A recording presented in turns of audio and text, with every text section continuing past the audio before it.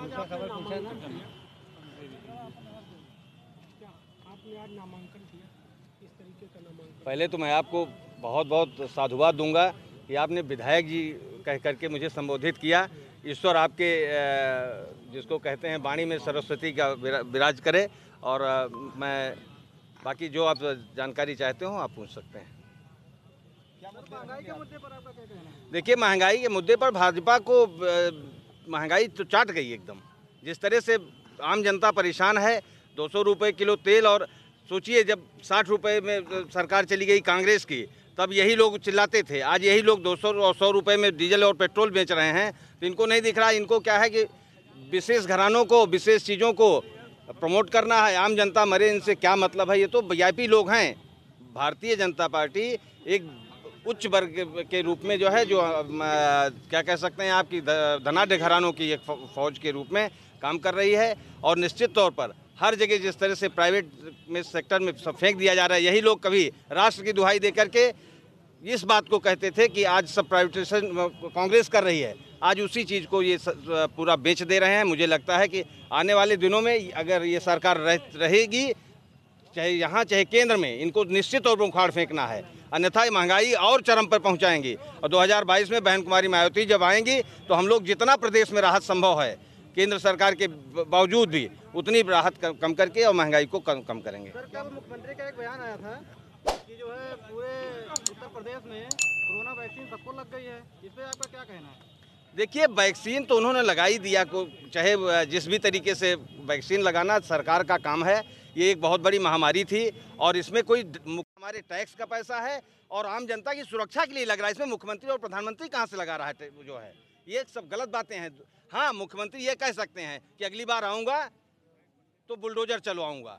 विकास की बात नहीं करेंगे। एक बार ये भी कह देते कि आऊँगा तो मैं विकास की गंगा बहाऊँगा। अरे, विकास की गंगा बहाओ, आम जनता के सुख की बात करो और अगर बुलडोजर चलवाना है तो सामाजिक समरसता के साथ जो अपराधी है, सारे अपराधियों को एक साथ बुलडोजर चलवाइए।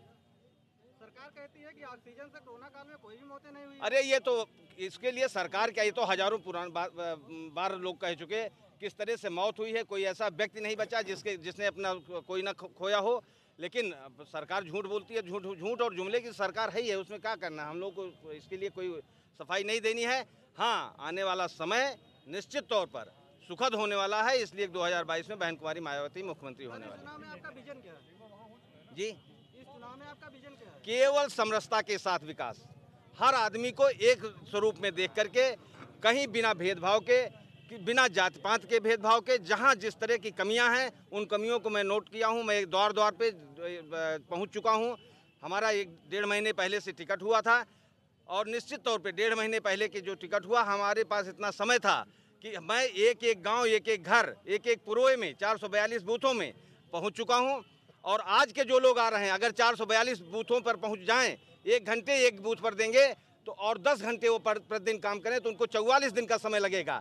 ये लोग खाली जुमलों के, के उस पर आज सोचो कि भारतीय जनता पार्टी जैसी आज प्रत्याशी नहीं दे पा रही है जो आए वो भाग जा रहे हैं। तो निश्चित तौर पर उनको एक विजिलेंस से रिपोर्ट मिली कि यहाँ बहुजन समाज पार्टी जीत रही है। आपको एक अधेला वोट नहीं मिलना है आप बिल्कुल साफ़ हो गए हो और अन्य दलों की तो कोई बात नहीं वो अपने आप साफ़ हैं। ईश्वर की कृपा से 10 मार्च को जो है बहुजन समाज पार्टी का परचम लहराएगा और बहन कुमारी मायावती मुख्यमंत्री बनेंगी। जी। नहीं मैं नगर पालिका का चुनाव निर्दल लड़ा था। मैं, और कोई चुनाव मैं व्यक्तिगत तौर पे नहीं लड़ा हूँ।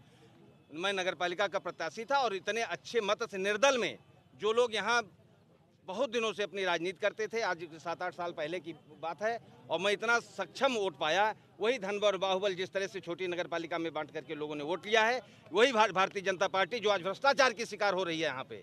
जिस तरह से आज नगर पालिका से लेकर के और पूरे विधानसभा को आप देख लीजिए विधायक आपको तलाशे नहीं मिलेगा और जनप्रतिनिधि आपको ढूंढे नहीं मिलेगा।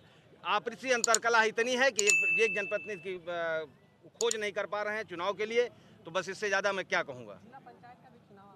नहीं मेरी जिला पंचायत का चुनाव मैं लड़ा था लेकिन वो एक्सीडेंटल हुआ। हमारी पत्नी उसमें प्रत्याशी थी। वो वो, प्रत- वो चुनाव नहीं लड़ा गया था वो एक बस सुल्तानपुर से जुड़ी रोज़ाना वीडियो देखने के लिए चैनल को सब्सक्राइब करें और नीचे दिए गए बेल आइकन को अवश्य दबाएँ। वीडियो सबसे पहले देखने के लिए धन्यवाद।